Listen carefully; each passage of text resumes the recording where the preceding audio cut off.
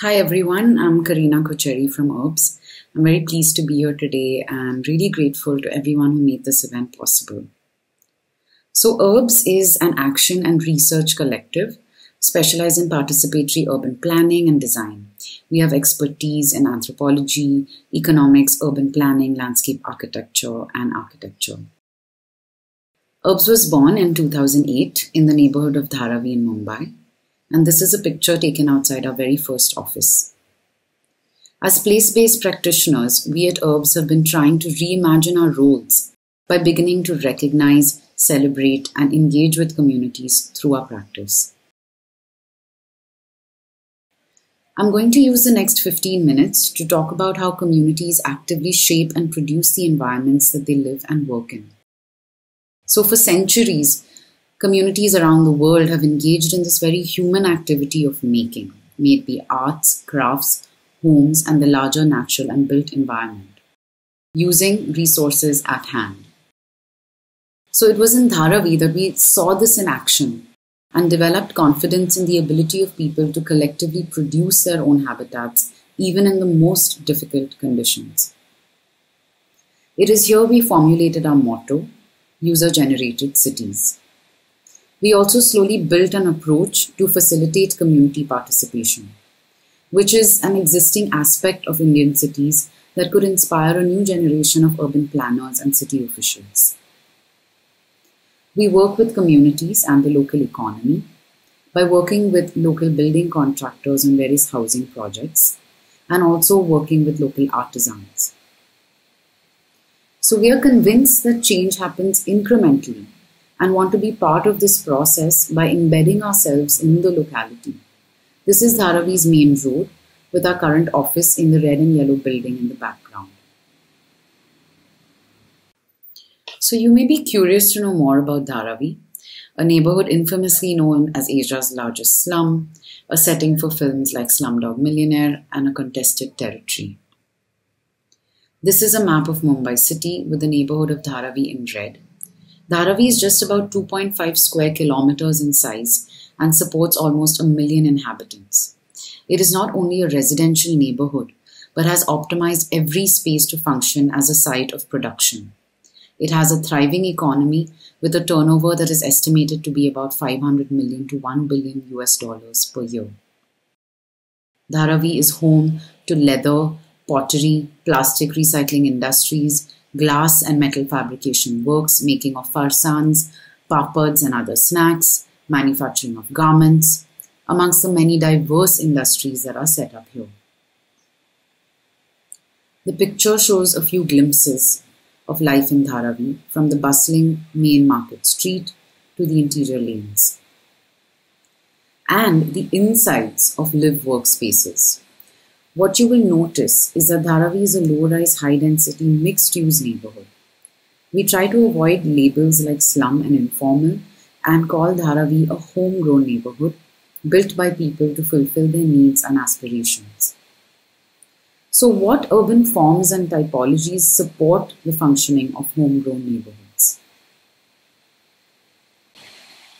So, the tool house is a term we coined to describe the live work housing format that dominates Dharavi. It is an urban typology that seamlessly merges spaces of domesticity and economic productivity. Even large, innovative multinational corporations have had humble beginnings in people's homes and garages. But most urban building zoning laws that neatly separate residential and commercial activities do not support this live work format. This is a typical tool house in Dharavi where leather goods are made. The workers are provided accommodation in the same house. And these are tool houses that line the main streets with shops on the ground floor and houses on top. We are engaging with this typology through a project that we initiated called the Homegrown Street.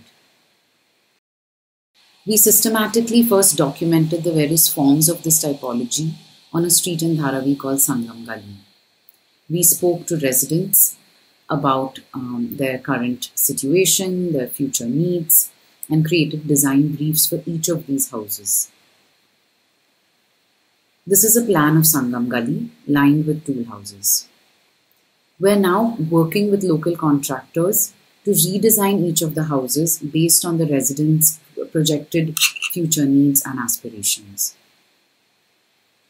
Here's an example of a new design by a local contractor for one of the houses on the street.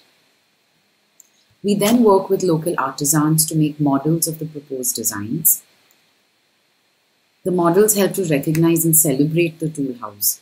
They are means to trigger discussions amongst residents, civic officials, and the planning fraternity about this live work typology. The zoning and building regulations hardly support this live work format, and it is not currently in the lexicon of urban planners, making the future of these collectively produced habitats uncertain. So, how did such a productive network of communities and economies come about? Did Dharavi just spring up out of nowhere? To answer these questions, we need to rewind a bit and understand more about its origins that are deeply tied to the Koli community of Mumbai. Kolis are the indigenous fishing community of Mumbai that inhabited the coastal estuarine landscape where the Mithi River merges with the Arabian Sea.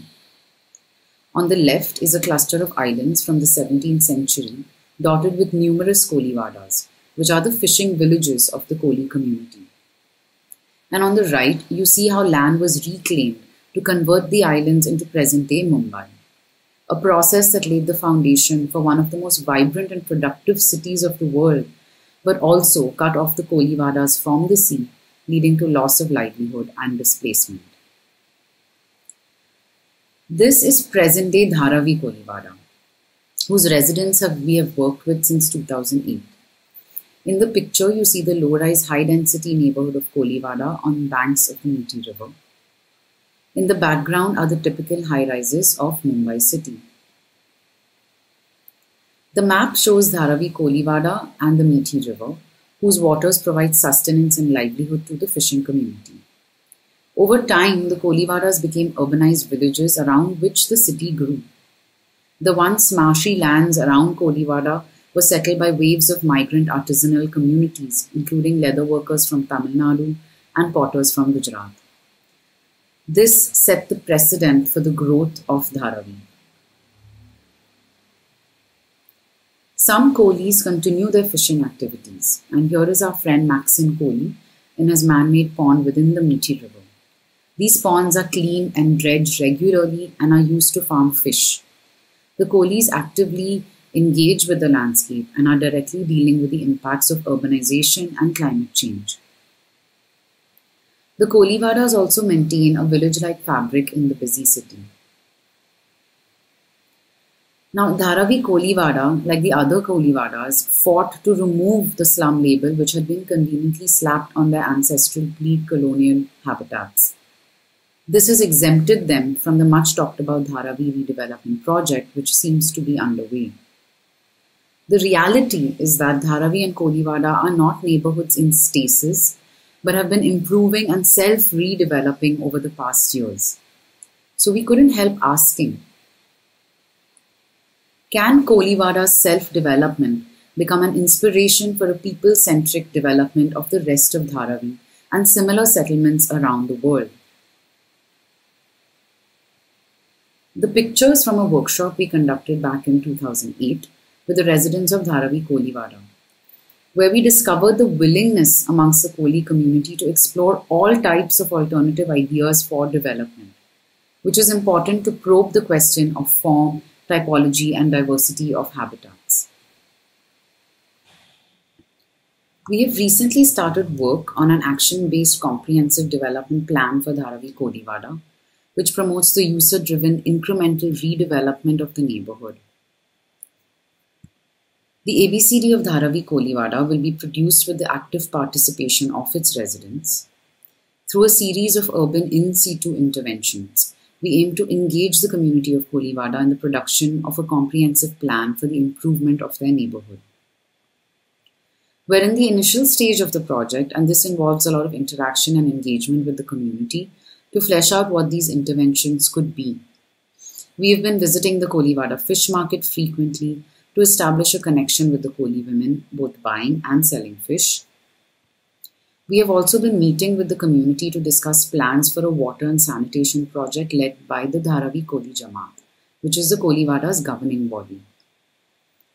And alongside this, we've been making maps and diagrams and a model of the neighborhood, which we plan to use as a tool to further engage the community and gather more accurate knowledge about the buildings and topography.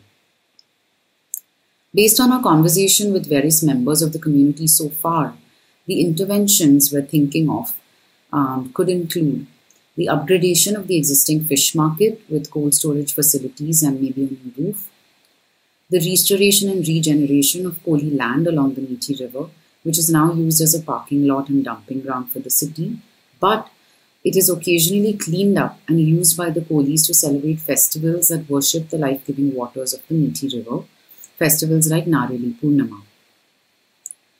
We have also already commenced work on the planning and phasing of the water supply and sanitation infrastructure for the neighborhood. Due to the Koliwadas being perceived as slums, they were neglected by civic authorities and had to manage water supply and sanitation infrastructure on their own. Um, here you see how the water supply lines currently overlap with the sewage system, which, as we all know, is a very hazardous situation. So what we've been doing is mapping the current situation, helping the Koli Jamaat with making presentations to civic authorities, creating awareness amongst the residents, and planning and phasing the implementation of the project. It's been a long and fun journey since we started in 2008, and we've actually exported our learnings from Dharavi to our offices in Bogota, Geneva, Goa, and Paris. We are eager to continue our work in Dharavi and other neighborhoods around the world. To conclude, I'm going to need you to indulge me in a guessing game. Here are a series of pictures. Please guess where they were taken. You can type your answers in the chat box. So this is for picture one. You can maybe just type picture one and where it's taken. Uh, picture two. Maybe I go back to that, show it to you for a little longer and this is picture 3. So type your answers in the chat box and uh, thank you for your time and attention. Hope you enjoyed um, the work that we're doing and um, we would be very happy to entertain any uh, requests for collaboration or in, you know, in research or even in the projects that we're doing. Um, and you can check out our website, urbz.net, um, thank you for your time.